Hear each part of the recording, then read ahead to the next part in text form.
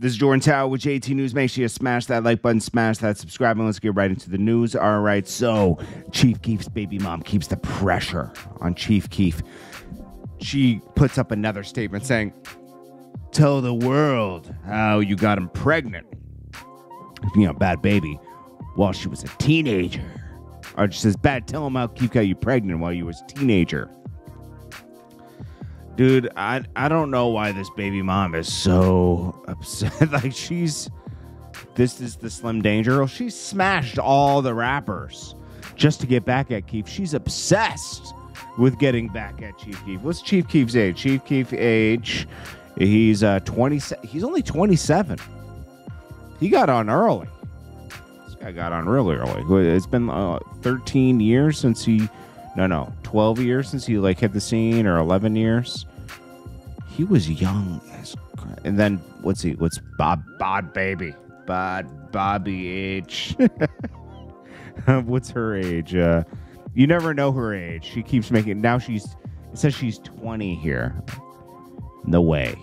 I'm sorry. Um i would say because like i think she changed her name her age because she was like 17 for like three years. Remember that?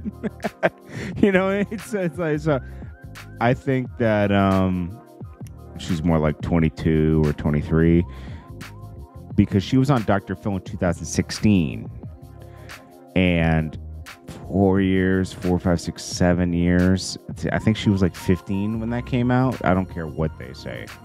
I think she was around 14 or 15 so that makes around like 22 23 you know so still there's an age gap and he could if he messed with her then he would have been i don't know who knows i mean it's like i didn't even know they were a couple to be honest with you i thought she just like was obsessed with XXXTentacion and NBA YoungBoy.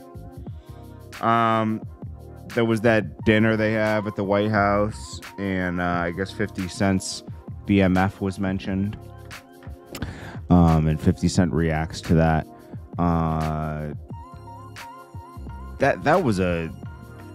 These dinners are always so weird. I don't care who's in office. It's like it's like a comedy night for the president. It's like, dude, just run the country. We don't have to be entertained, okay? Please stop. But uh, let's see. Here's the article. I have it right here. Okay, so what was mentioned. He said he continued. Tucker got caught up. He got caught up like that dude from Vanderpump Rules, text messages stuff. I don't know what Vanderpump Rules is about. I only watched it a couple times. My friends tell me it's like BMF, but for white people, or that Succession. No, Succession is power, but for white people. No, Tucker Carlson is power for white people. Oh, okay. This guy, well, what's his name? Roy Wood Jr. Dude, is this the best they could do at the White House? This guy is not funny, bro. I, I can't tell you one thing this guy was in that I was like, oh yeah, he was funny in that. You couldn't get Chris Rock or anybody. Come on, man. This is they went to the D list. I went to the D list to get things. They're like, all right, well, this is all we can get. Rick Ross is having trouble with his neighbors for his car show. Look at Rick. Yo, Rick Ross has attack dogs on his property. So the, the news was filming this. That's one of his attack dogs just looking from the gate like, I dare you to come over this fence. But he has the Promised Land car and bike show, and Lil Wayne's supposed to perform this year. And it looks great. Look at what his look. He turns his whole property into like a car and bike show. Um, and he competes with DJ. You know, DJ Envy makes a lot of money off car shows and stuff. So uh, they compete, and it's a big event. But the neighbors can't like it shuts the roads down, so the neighbors can't get out of their houses or their subdivisions. So they're protesting. I don't blame them.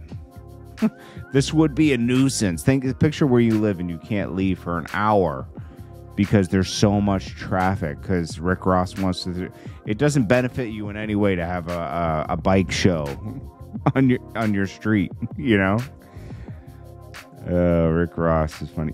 I think I think the only way to fix that would be to have people park in a certain area and then get a bus to drop them off and pick them up. Have buses going back and forth. If he did that, he would probably fix the problem. You can't have people just driving into the show. But you know what? People would just drive by just knowing Wayne and Ross are having a big event. So I don't think there's any way around it. Ain't no way around it. um. Anyways, and then like Bhad Bhabie's, like making it hotter by talking about removing her Chief Keef tattoos and all that stuff. We talked about that last week. It's like, ugh. who cares? I'm it's in the past. This is Jordan Tower with JT News. Um, I appreciate you all.